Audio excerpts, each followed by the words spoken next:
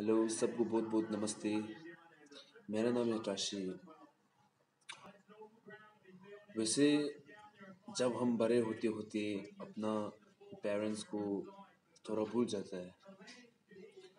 और ये मत भूलना कि अपना पेरेंट्स इस दुनिया में पहला है कि जो हमको लव क्या है, वही सिखाए।